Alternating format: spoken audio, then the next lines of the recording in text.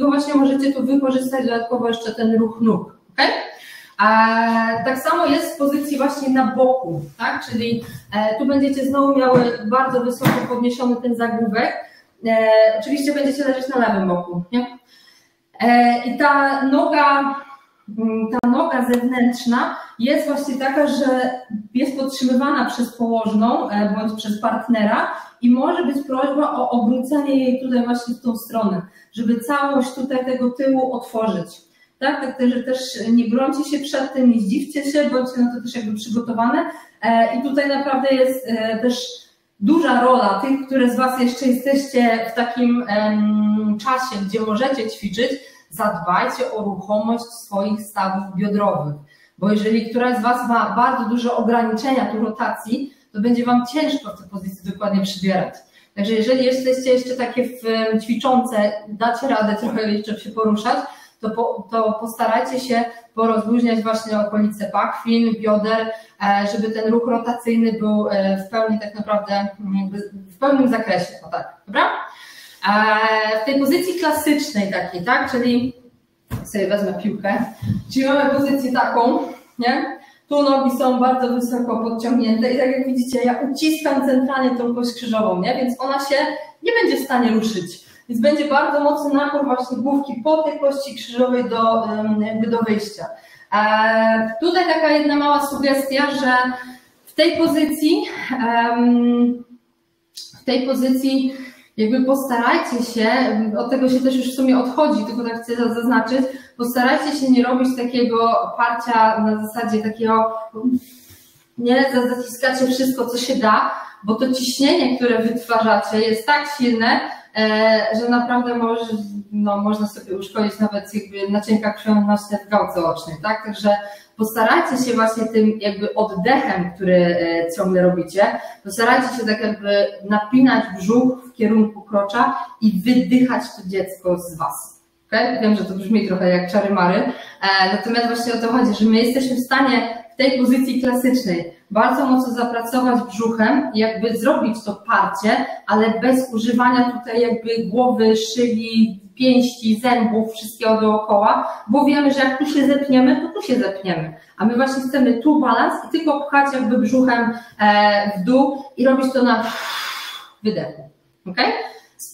Jakby te, które z Was jesteście jakby gdzieś tam w 39 tygodniu, e, możecie sobie spróbować zrobić takie jakby lekkie parcie, właśnie z tą próbą walsalwy, e, czy tak na maksa, jak tego się da, albo spróbować tylko lekko napiąć brzuch, ale tak jednorazowo, żeby poczuć różnicę, dobra? Tak powiedziałam to teraz tak na forum, powinnam się palnąć w łeb, że nie powinno tego mówić na forum, e, ale ja nawet swoim pacjentkom tak zalecam, żeby nawet przy mnie spróbowały właśnie poprzeć tak i poprzeć tak, zobaczyć jak czują, jak te nomienicy pracuje.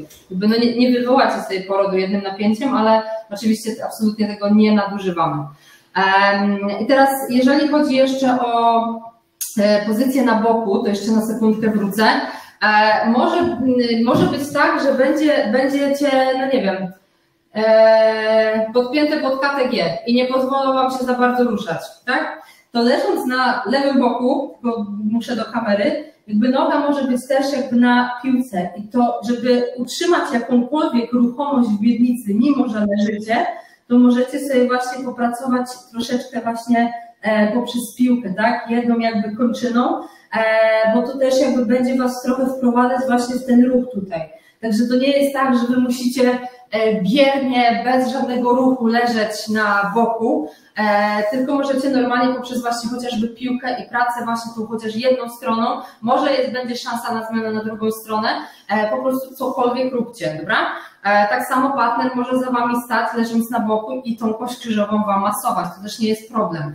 E, I tutaj e, taka też podpowiedź, żebyście na przykład dowiedziały się z, w swoim szpitalu, gdzie planujecie rodzić, jakie jest podejście właśnie do, do, do tego momentu, gdzie jesteście podpięte pod KTG i czy wy możecie się ruszać, czy jest nakaz leżenia.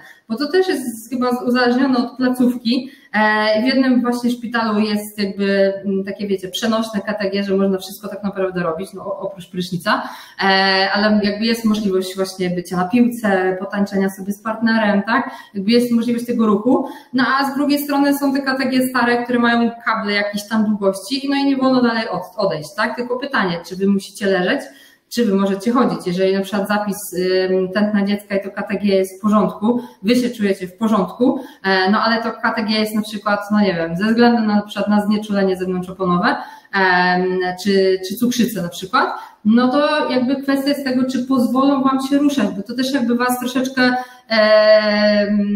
no, będziecie jakby świadome tego, co się będzie działo, tak? Bo jakby te, które z was rodzicie pierwszy raz, kompletnie nie wiecie, czego się spodziewać i to jest tym wszystkim takie, e, no, no takie, no, że ciężko to przewidzieć i nie wiecie dokładnie, jak to będzie wyglądać. E, a im więcej jakby się dowiecie, jak to wygląda właśnie w szpitalu, tak? Jak wygląda sala porodowa, tak? Gdzie może, nie wiem, mąż przebywać, czy jest mikrofalówka, czy jest lodówka, czy możecie sobie schłodzić jakiś tam kompres, czy możecie sobie podgrzać woreczek z pestkami wiśni, tak? Takie rzeczy fajnie wiedzieć, żebyście były spokojne, bo jakby już akcja porodowa nie jest y, miejscem i czasem na ogarnianie takich, a, a weź i tam się zapytaj, czy możesz mi kompres y, schłodzić na przykład, nie? To, to nie jest ten moment już, jakby takie rzeczy musi, musicie mieć w miarę ogarnięte, Także postarajcie się tak z różnych stron podpytać właśnie, jak to w szpitalu wygląda. Czy po, nie wiem, znieczuleniu zewnątrzoponowym musicie leżeć, tak naprawdę no nie trzeba, tak? Ale jeżeli szpital tak wymaga, no to też fajnie było, żebyście wiedziały.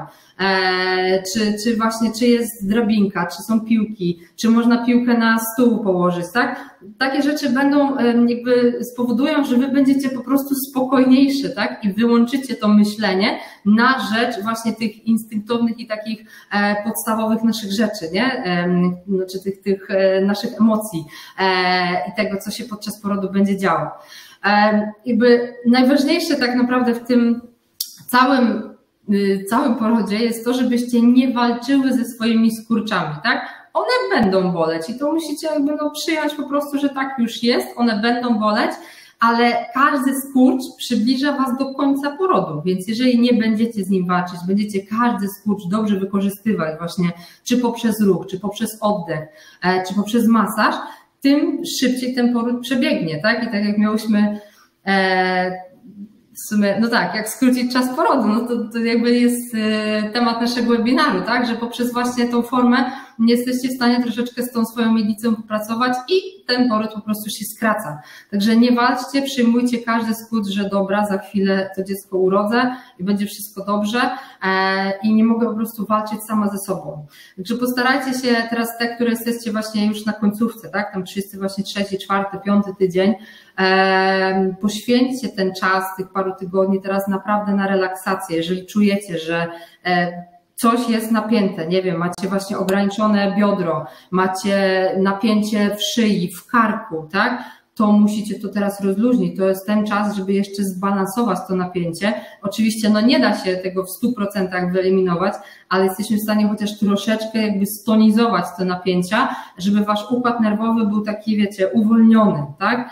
Um, polecam wam bardzo e, wszystkie takie. Um, relaksacje takie dla ciężarnych, żebyście sobie właśnie odpalały gdzieś wieczorem w takiej otwartej, otwartej pozycji, tak, e, otwarte nogi, otwarte ręce, e, żebyście włączały sobie relaksację, żebyście właśnie rozluźniały cały swój układ nerwowy, przenosiły się koncentracją właśnie do swojego dziecka, bo podczas porodu naprawdę Wam się to bardzo, bardzo przyda. Jeżeli macie możliwość właśnie wzięcia jakiejś sesji skipnoporodu, to też Wam bardzo polecam, bo jest to naprawdę bardzo takie tonizujący układ nerwowy, żeby on nie był w takim, wiecie, całym stanie, ciągle w takim stanie walki, ucieczki, ojejku, co to będzie, a jak ja nie dam rady, to co wtedy?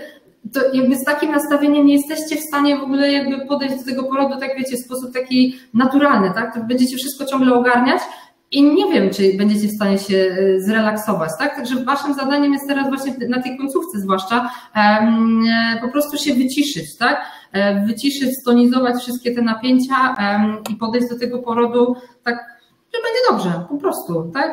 E, bo będzie dobrze. Ja za was bardzo mocno trzymam kciuki i życzę wam bardzo, bardzo pięknych porodów, żebyście miały piękną pamiątkę. Pamiętajcie też o tym oddechu podczas cięcia cesarskiego, że jeżeli się by skończyło tak, że no nie wiem, dziecku tętno będzie spadać, jest koniecznie cięcie cesarskie, to wy macie oddychać, macie właśnie się uspokajać, żeby wasz układ nerwowy po prostu nie zbzikował, nie miał traumy, tak? Także postarajcie się oddychać spokojnie, będzie wszystko dobrze, dziecko zaraz zostanie wam dane na klatkę, no tylko po prostu nie, nie, nie, nie przejdzie tą drogą um, rodną, tylko, tylko poprzez po prostu cięcie cesarskie i ale i tak będziecie jakby razem będzie z wami wszystko dobrze, także spróbujcie do tego tak podejść na spokojnie, dobra? To taki mój e, apel, bo im bardziej jesteście znerwicowane właśnie jeszcze przed porodem, się nakręcacie same, tym ciężej będzie w ten poród właśnie z takim balansem wejść. Także przećwiczcie te pozycje.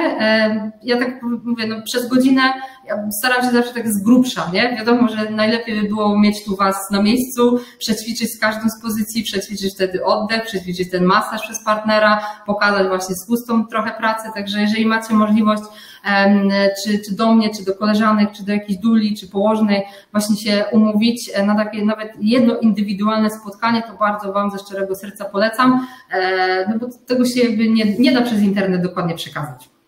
Dobra, e, mamy, mamy 6 minutek. E, myślę, że tak, czekajcie, muszę jeszcze w głowie sobie. A, wiem, co miałam powiedzieć o tych piłeczkach tenisowych. Słuchajcie, te, bo, bo to jest jeszcze bardzo ważne.